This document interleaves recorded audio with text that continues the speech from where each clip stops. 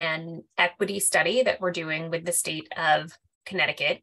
Our goal for today is to introduce you to the study itself and preview opportunities for you and, and um, the community writ large to engage and provide us feedback throughout the duration of this study. Um, so next slide.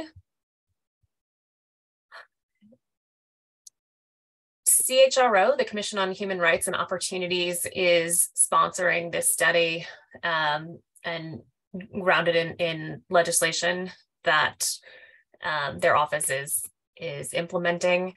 Um, Executive Director Hughes is not able to join us this evening.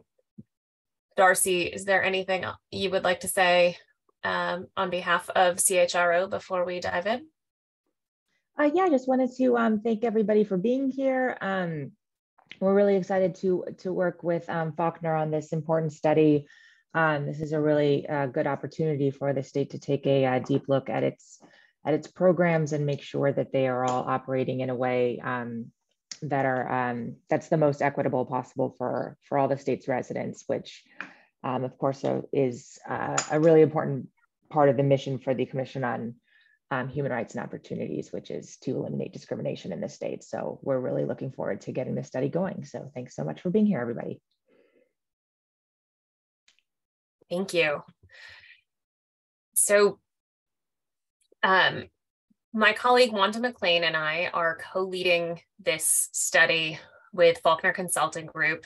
Faulkner Consulting Group is a um, small niche um, policy firm in New England that specializes in work at the intersection of policy, operations, and analytics.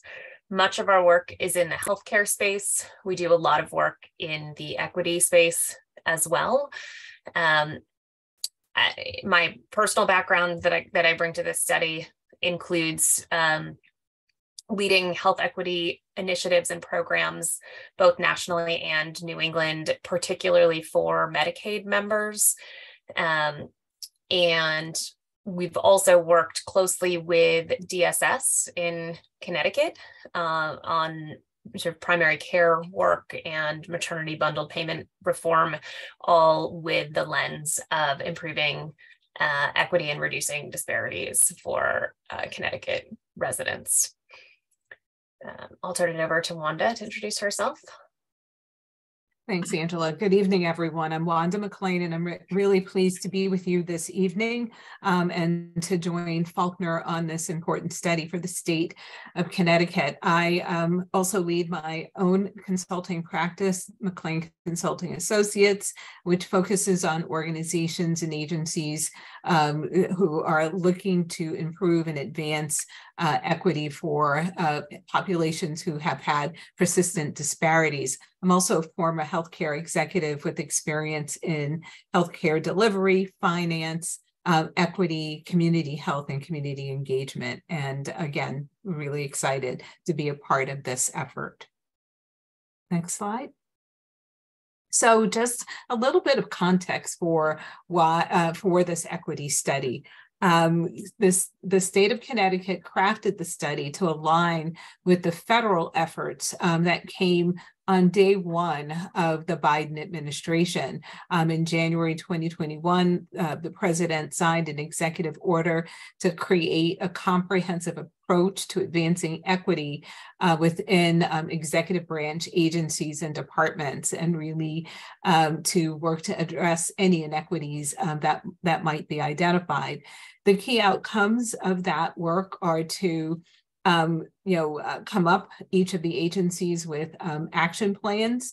Also, an equitable data working group was created, and then finally, there was a, a, there is an assessment of assessment practices, a review of the best practices in terms of assessing um, um equity the state of Connecticut, a few months later, passed legislation to undertake this equity study of its own executive branches, uh, policies, and, and, programs. And as you heard, um, uh, CHRO um, is overseeing this in partnership with the Department of Administration and the Office for Policy and Management.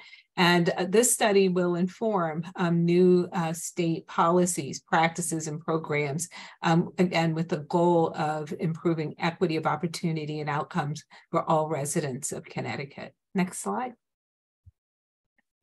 Uh, so the study goals, uh, this is, you'll hear a little bit more about this in a moment, uh, but this is a multi-phase project that aims to look at um, the programs and policies and assess um, whether or not there are any disparities and then make recommendations to remedy them.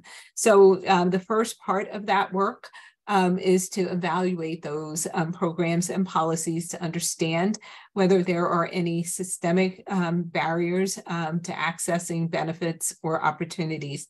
One of the pieces of work that we're involved in currently is um, the landscape analysis, analysis looking at um, at uh, each state agency um, a program and looking at the outcomes um, of the, that program for Connecticut residents. We're also looking at demographics and um, other outcomes to see if there are any patterns of discrimination, inequality, or disparities um, in any of the um, uh, programs. And then finally, we'll make recommendations based um, to improve um, any disparities that are identified. So the outcomes will be um, that this will contribute to the state's goal of improving um, data practices across the state. Um, it will, will review trends and progress in addressing known areas of disparity. And we'll look at um, the root causes that drive disparities in terms of access and outcomes. And then finally, um, the uh, important work will be implementing a, an approach um, to make recommendations to address and remedy those disparities. Next slide. So um, we, there's a broad definition, a comprehensive definition of underserved communities. I'll just read it quickly. Um, populations sharing a particular characteristic as well as geographic communities that have been systematically denied an opportunity to participate in aspects of economic, social, and civic life, such as Black, Latino, Indigenous and Native American persons, Asian Americans and Pacific Islanders, and other persons of color, members of religious minorities, gay, uh, lesbian, gay, bisexual, transgender, and queer persons, persons with disabilities, persons who live in rural areas, and persons otherwise adversely affected by persistent poverty or inequality. As I said, it's a comprehensive um, look, look at a number of different identities um, and how they how you know their outcomes within the state. Next slide. I'll turn it over to Angela. Thank you, Wanda. Um, so as Wanda described, we're conducting this study over five phases. We started this work in December with some initial planning and um, Uh, and designing the study in partnership with the CR- CHRO team. We're moving into an iterative process of phase two, three, and four, where we are going to be collecting data, both quantitative and qualitative, from a variety of different sources to be as comprehensive as we can be, analyze that information quantitatively and qualitatively, and uh, iterate on recommendations that can address the problems and, and challenges identified from the data collection and analysis so that in the final report, we will have sort of a summary of uh, challenges or problems related to equity, potential solutions and, and recommendations to those challenges, and implementation plans for how the state can execute to um, to address the equity challenges that are are um, identified. It, our intention is to do that process um, very much iteratively to make sure that as we learn from um, from the various data sources that we are um, sort of continuously updating a list of recommendations and and um, challenges that correspond and getting feedback on that, that information. Uh, we'll summarize that in a final report this fall and bring that draft final report through a listening tour in Connecticut, um, making sure that that as we present the final package, we have one last forum to incorporate any final um, feedback into the plan. Um, on the next slide, we can talk in more detail. Oops, in, in a minute, we'll talk in more detail on the different public data collection mechanisms. Um, first, wanted to just share the list of agencies that are participating in the study. Um, all 23 of the executive branch agencies will be um, interviewed, and each um, agency will pick at least one uh, program or area of focus that we can go deep on assessing equity challenges and potential solutions, both quantitatively and qualitatively. So on the next slide, we'll talk about ways in which uh, we welcome and encourage public engagement in the data collection process. Um, in addition to the interviews that we're doing with the executive branch agencies, uh, we're offering focus groups, both um, of community-based organizations who represent uh, various communities within the state of Connecticut, as well as Connecticut residents who don't have any specific affiliation with a, a community organization, but have feedback on um, equity related issues in state government. Um, so throughout the, the spring and early summer, we anticipate working with the executive branch agencies to identify community-based organizations that, that they work with who we should be engaging and to go through a process to solicit participation among residents in focus groups. We have also designed and opened a public survey a sort of sample set of questions are on the right side of the slide. It is designed to be a, an open forum to collect written feedback from community members at any point during the course of the study. Um, the survey asks questions about um, any challenges that you may have um, in interacting with a state agency or in with a specific program within um, any state agency and asks for your ideas and input on um, potential solutions. And as I mentioned before, at the end of this process, we'll take all of our learnings, summarize it, and um, uh, do a listening tour across uh, the state of Connecticut to get final input on the plans. So um, we'd love to have your input um, in this equity study. And if you're interested in, in, finding out additional information, you can go to the CHRO uh, website and you see the link there. And if you want to have um, input into the study, um, Angela mentioned that there is a um, that there is a, a, survey and there is a link to the survey. It has now been put into the chat. Um, and there is the QR code that you can scan. That survey will remain open while this study is underway, and we really, really would love um, your input, um, in particular um, to identify any um, challenges or things that are working well. Uh, we want to hear both. Um, if you want um, to get more information or if you have questions about um, this study, you can submit them to us um, at the uh, Faulkner Group. Um, there's a SurveyMonkey link uh, for that and a QR code as well. I think both of these are in the chat. So um, we really encourage your feedback and your participation in this process. Um, on the next slide, we are, going to open it up to questions. Um, so this is an opportunity for you. Um, you have two ways um, to, to um, indicate that you have a question. You can either um, open the Q&A box at the bottom of your screen and type in your question and we'll either respond to you by text or we'll um, answer you live. or you can raise your hand and then we'll unmute you and um, you'll be able to share your uh, question or comment with the group. So we would love uh, to open it up now for any uh, questions or comments or any additional information that we can share with you. Thank you.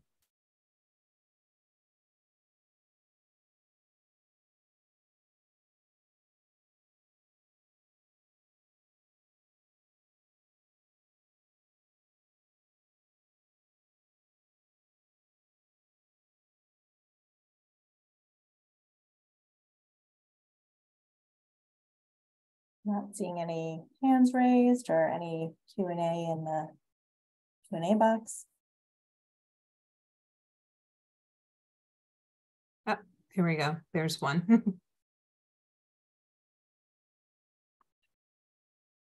so the question is um, from Jay, who chairs the Farmington Human Relations Commission and wondering about a role the town commissions could have in the study.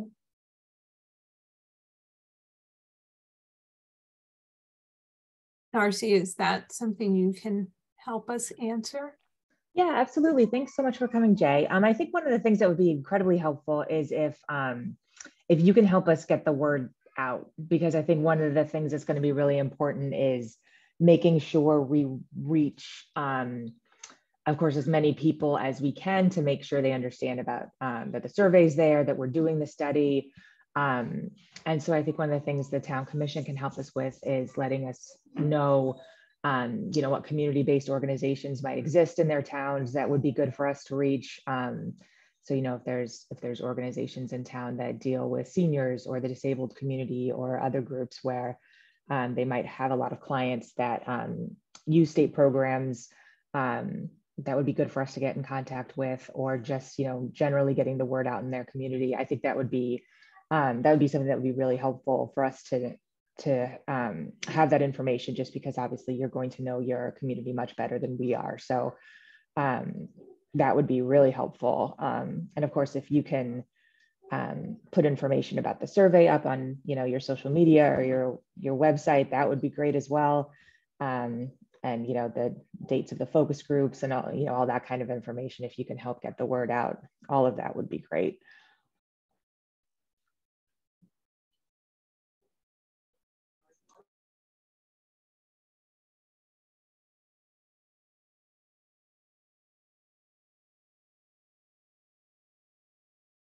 Any other, oh, is there a second, is there another question, Kristen? No. All right. We'll just leave space for a moment or two in case um, you have any additional questions. And Jay, thank you so much for your question. And Jay, I'll add it in response to you, but also to anyone else who's on the call. If you want to provide more information about the organizations that you work with, you can do that, submit a, a question or comment. Um, the second link that I provided in the chat, and uh, that way we keep you up to date. And if there's other opportunities to get involved, we can share those along the way.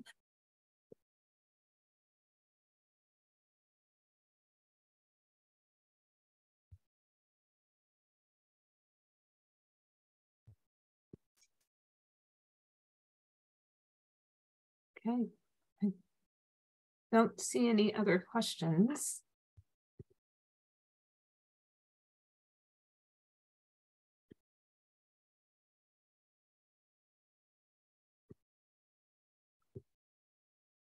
Again, if you have any questions um, after uh, session, um, you have the links that were posted in the chat. Um, again, we really um, want to strongly um, encourage participation and, I, and as um, Darcy mentioned, getting the word out about the survey, um, about the study, and as we share information about focus groups, um, we, we will definitely look to you to help us to, to get the word out. And again, if you have any questions for us, you can use the Faulkner Consulting Group link um, um, and we will um, attempt to answer your questions as quickly as possible. I don't, um, Angela, anything, any parting comments on your end? um, just echoing gratitude for attendance and, and engagement in this very important topic. Uh, we look forward to working with you and your community on this study. Thanks, everyone.